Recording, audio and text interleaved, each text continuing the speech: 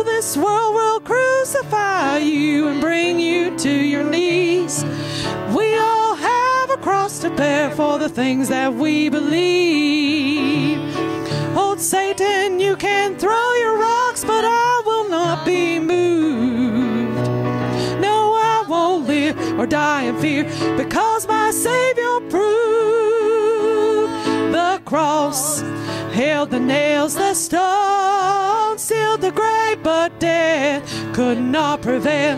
When the rock was rolled away, he lives forevermore in his eternal home. No, you can't keep a good man down with crosses and stones. With their cross of mercy, he carried God's will.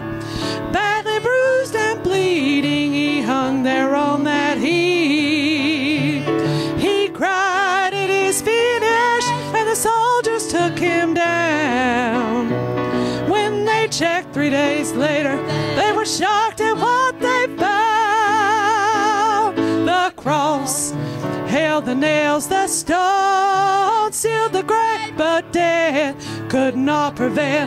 When the rock was rolled away, he lives forevermore in his eternal home. No, can't keep a good man down with crosses and stones. The cross held the nails, the stone sealed the grave, but death could not prevail.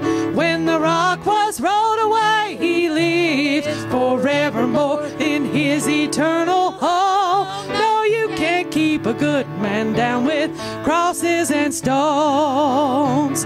Well, this world will crucify you and bring you to your knees. We all have a cross to bear for the things that we believe. Oh, Satan, you can't throw your rocks, but I will not be moved. No, I won't live or die in fear because my Savior proved cross held the nails, the stone sealed the grave, but death could not prevail. When the rock was rolled away, he lives forevermore in his eternal home. No, you can't keep a good man down with crosses and stones. No, you can't keep a good man down with crosses and stones. Amen. 63, verses number 1. Isaiah 63 and 1. Isaiah 63 and 1.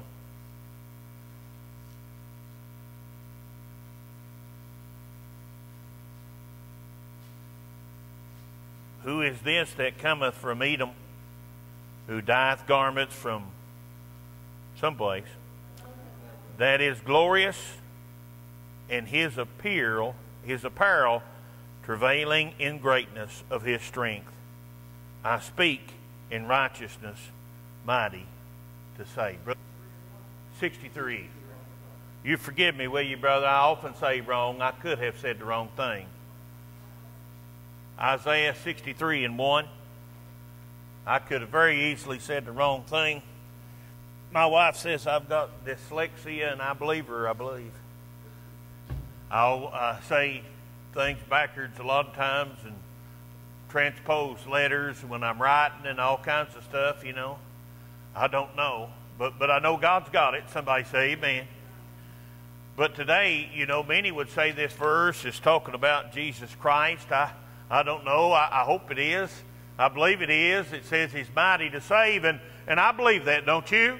Amen. I, I, believe that Jesus Christ is mighty to save in this world. I believe that He spoke righteousness in this world. And I believe He came to, to save uh, the lost. Don't you? I, I believe He came to set the captive free. I, I'm here to tell you, I have no idea, but, but I know one thing that It, my Bible tells me in St. John 14 and 6, Amen, glory to God. It tells me, He said, I am the way, the truth, and the life, and no man cometh to the Father but by me. And that tells me today that Jesus Christ is mighty to save. Amen. He's out to save us. Uh, he's out to pay the price for our sin. And you might want to make sure that I'm out of the house. Amen. Tonight. Amen. I don't want to want to bop nobody down. Amen. I don't know. Can you hear me in the house, or is that just all me? Amen. Pull me out of the house, brother Tony.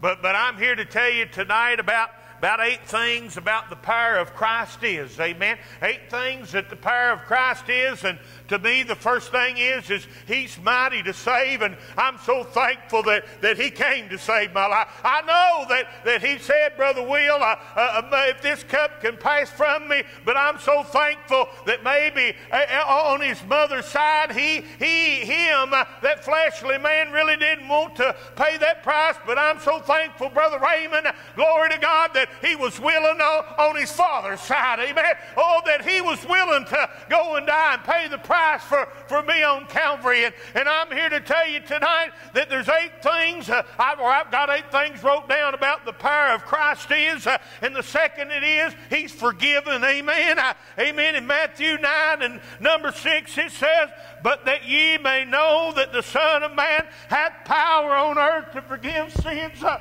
then saith he to the sick of the palsy, Arise and take up thy bed and now, oh, listen at me tonight. Are you glad that He's mighty to save? And I'm, I'm so glad that He's mighty to save, but I'm so thankful that He's mighty to forgive. Amen. I'm thankful that He's forgiven today. Amen. I'm thankful, uh, Sister Vicki, that He forgive me for every sin uh, that I've ever committed. Uh, but I'm thankful today that when I mess up, uh, since I've been saved, uh, I'm thankful that He's forgiven. Uh, I'm thankful for Psalms 130 six or seven, I can't remember which one it is, uh, but it says His mercy endureth forever. And I'm thankful for that mercy, aren't you? I'm glad that Christ has the power to save, uh, and I'm thankful today uh, that He's mighty to save, and I'm thankful that He's forgiven, aren't you? Amen. Praise God. I, am glad that, that Christ has the power over nature. Amen. In Luke 8 and 25, he's got the power, amen, that is mighty to save. He's got the power that's mighty to forgive, but he's got power over nature. I'm reminded here it says, And he said unto them, Where is your faith? And they, being afraid, wondered, saying one to another, What manner of man is this? For he commandeth even the winds and the waters, and they obeyed him. Brother, he's not only got the power to save but he's got the power to tell whatever in this world to peace be still, and he'll do it. Amen. I'm thankful for that, aren't you? I'm thankful that it don't matter how big the storm gets, how much, how much Brother Raymond, it gets over our head, and every once in a while it gets over our head. Amen. I'm thankful that Jesus Christ can say, Peace, be still. Amen. I'm glad they power in the name of Jesus, aren't you? Glory to God. I'm glad tonight, amen, not only that He's mighty to save and forgiving and He's got power over nature, but I'm glad He's got power over His own life. Amen. In St. John 10 and 17, it says, Therefore doeth my Father love me, because I because I laid down my life that I might take it again. No man taketh it from me, but I lay it down of myself. I, have power to lay it down, and I have power to take it again. This commandment I have received of my Father. Church, listen at me. Yes, he didn't necessarily want to go to Calvary, but glory to God, he was willing to do the will of the Father. And I'm thankful tonight, amen, praise God, that he had the power, amen, to give his life for our sin. Praise the Lord. I'm thankful for that, aren't you? Glory to God. Amen. Praise the Lord. I'm thankful that he's not only got the power to mighty, the power of Christ is mighty to save and forgiving and over nature and over his own life, but amen, the power of Christ that is life giving. In St. John 17 and 1, it tells us this These words spake Jesus and lifted up his eyes to heaven and said, Father, the hour is come. Glorify thy Son, that thy Son may also glorify thee, as thou hast given him power over all flesh, that he should give eternal life to as many as thou hast given him. I'm glad he's got power. There's power in Christ for life. I'm thankful today that I answered the knock on my door and I've experienced that power of life in my life. Because that's what counts. So many's never experienced it, and that's the problem. Somebody say amen. They've never got a good dose. Say amen. Glory to God. But Christ is all powerful. Amen. Only is he mighty to save and forgiving and, and a power over all nature of this world. I, I mean, brother, I want you to think about that a minute. Not anything was made that was made, but it was made by his hand. Amen. I want you to think about God the Father. When, he, went over in Genesis, he said, Let us make man in our image. Amen. Glory to God. And then it tells us that all things were made by him. Aren't you glad today that you know Jesus, the one today that's mighty to save, that's forgiving, that, that has all power over all nature, that can speak all things into existence? Got power over his own life and got power to give you life. Amen. And the power of Christ is wonder working. Isn't that glorious? It's wonder working. It's I wonder how he does it all. Somebody say amen. I wonder how he puts up with me. Don't you wonder how he puts up with you? Amen. Glory to God. I, I, I wonder why he loved me. Amen. Ain't that right? But praise God, I, am so glad that He did. Amen. Isn't that right? Amen. Acts 10 and 38 says this how God anointed Jesus of Nazareth with the Holy Ghost and with power, to, who went about doing good and healing all that were oppressed of the devil, for God was with him. Oh, church, listen at me today. Jesus has a wonder working power. Amen. He not only saves the soul, but glory to God, He heals the body. Somebody say amen. He meets every need that we have. Every need. Every need. Every need. And it's just not. Amen. Amen. Glory to God. He's mighty to save. He's forgiven. He's over nature.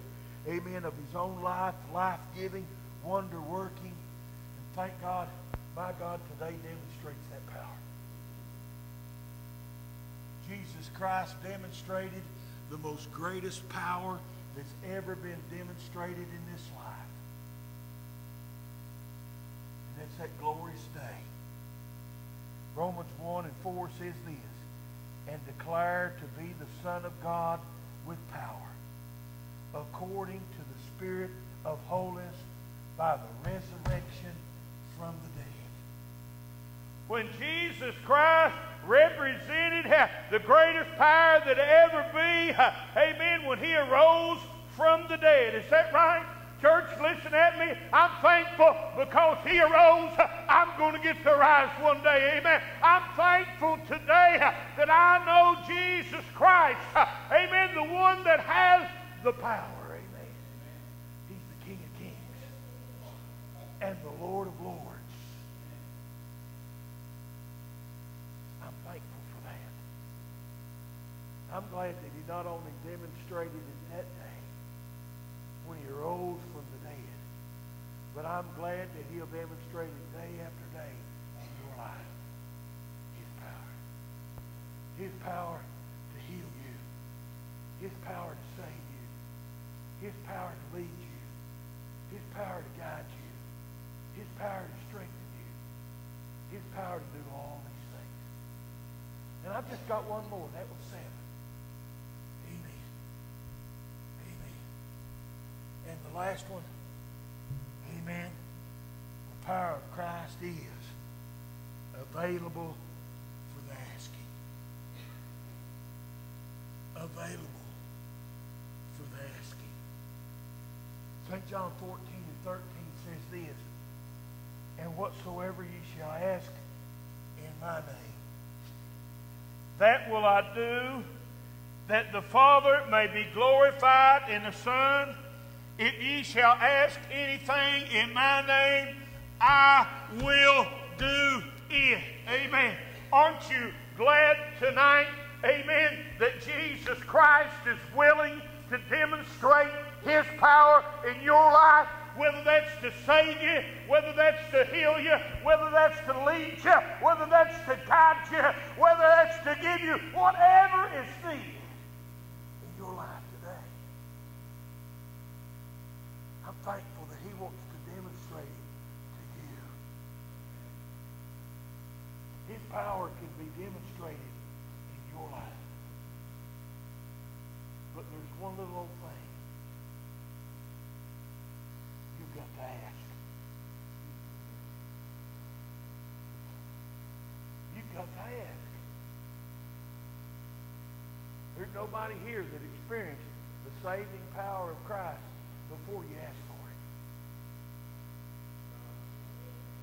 Could I get amen?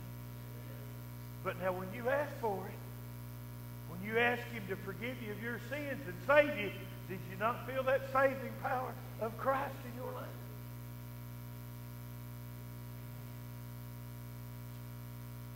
If you desire healing tonight, God's here.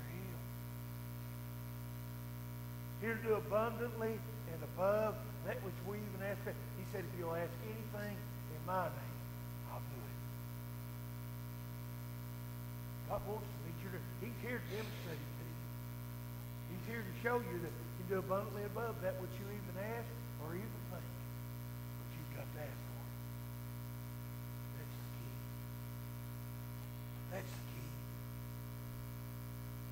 You know, I'll never forget, and I'll close,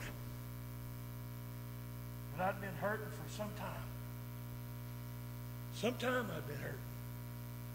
I'd been limping up and down these steps, and about every step I took, my knee popped. It popped, and I was up here preaching one night. And the Lord just spoke to me and said, Exactly why haven't you had the saints of God anoint their hands with oil and pray over you? Well, I never said nothing, but it was probably because, well, you know, we like to think we're strong and we've got to go through things, we've got to do all that. Well, I'm not sure we have to go through all the things we have to go through. Somebody say amen. And Lord God, we just stopped. We called the saints of God up and they anointed their hands oil and they prayed for it. My knees never popped again. Not even once. Not even once. It popped, it popped out of every other step, if not every step. It felt like every step. I ain't gonna say it was every, but it felt like it. And it hurt. Every time I get ready to go up the stairs, it It hurt. I'm here to tell you, my God wants to demonstrate His power to you. Whether that be healing, whether that be His leads to lead and guide you in the right direction. Maybe you were here tonight, you've been wondering which way to go. God will show you. He said, if you lack wisdom, ask for it. Is that not right? Is that not what He said? My God's here to demonstrate His life in you. But it's only through Him that anything can be accomplished. Somebody say amen. We can do all things through Christ Jesus. You know, we can try. How many of you ever looked up and found yourself?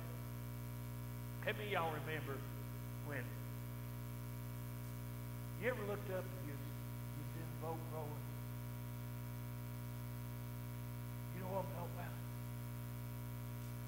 Jesus told them, amen, when they got ready to leave the shore, he went up on the hill to pray. And he, he I can't think of the word. It's, it's Mark 4, I believe. And I can't think of the exact wording. But, but it was, in other words, he was forced to go.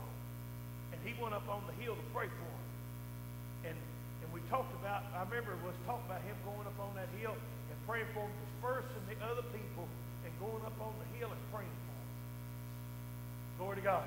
And then, then coming back and walking out on the sea, and they, he can see them. which told me they hadn't got very far. Somebody say amen. I'm here to tell you, if Jesus ain't on board, you ain't going to get too far. You ain't going to get too far. If he's not the one leading you, you ain't going to necessarily get too far. On our own, on our own power and our own merits and our own ways of doing things, we ain't going to get too far. Somebody say amen. But glory to God, when Jesus is on board, you get somewhere. Somebody get. Christ to demonstrate to you tonight. It's up to you. If you're here tonight and you're lost and undone without Him, He wants to demonstrate He's got the power, He's mighty to save, and He's mighty to forgive. He's got the power to do it. By no other name can man be saved but by the name of Jesus Christ, my Lord and Savior. He's here to forgive. If you're here tonight and you've messed up, amen. How many, how many y'all just confess and say right now, somewhere along the line, you've messed up? Somebody say amen. Said, you know, Jesus, you messed up. We all have. Aren't you glad he was mighty to forgive? Amen. Praise the Lord. There's something, whatever your need might be here tonight. You're looking for God to lead you. You're looking for God to heal you. You're look, I'm here to tell you, Jesus is the difference. I love this message. I preached it several years ago, and I'm going to say it, and then I'm going to quit, probably. But I love the thought of it. There they were, and and Jesus kept them a long time teaching. And glory to God, they's all getting hungry and there's 5,000 men there.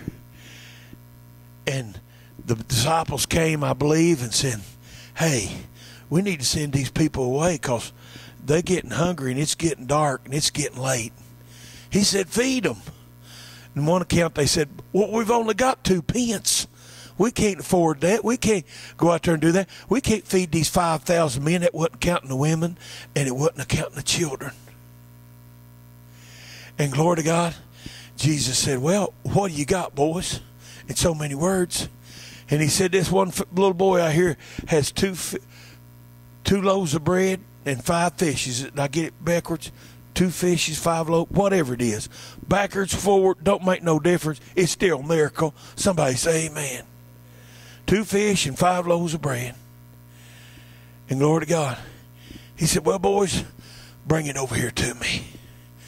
And they brought it over there, and he took it and he blessed it right good and break it up for them. And them five loaves of bread and them two fishes made 12 great big baskets, or ever how many baskets it was.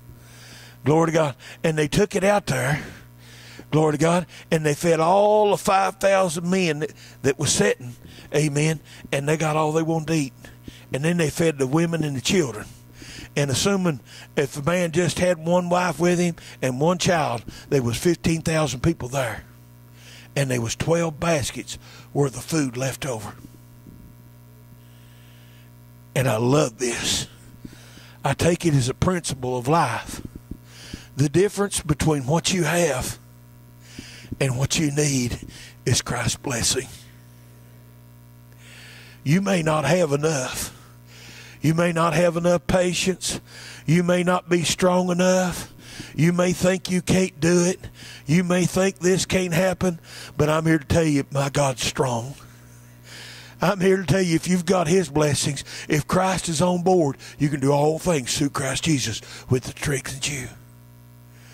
The difference between what you have and what you need is Christ's blessing. Amen.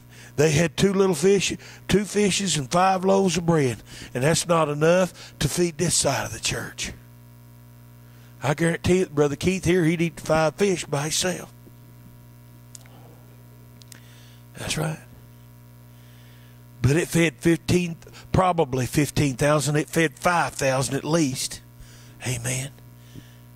And they didn't count the women and children. So, glory to God. And there was more left over than what they had. That's what my God can do. That's what my God can do. If you've got a need tonight, if you're lost, I'm here to tell you the difference between what you have, which is yourself, and what you need is Christ. He's the difference. If you're here today and you're sick and afflicted, by his stripes we are healed. Somebody say amen. He's got the power to do it.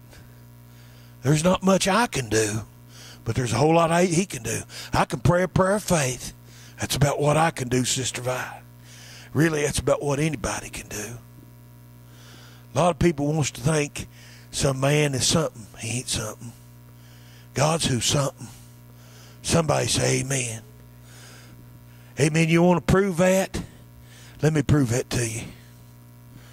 Wasn't it Peter there at one time, Brother Raymond?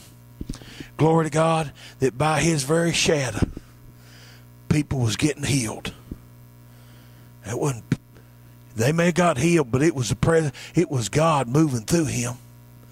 Because just right after that, Brother Raymond, if it would have been anything much to do with Peter, they wouldn't have said this. Right after that, they had to leave one behind because it was sick. One of the apostles. That's right. It's God that does the healing. All man can do is believe God. Somebody say amen. Trust to Him and pray.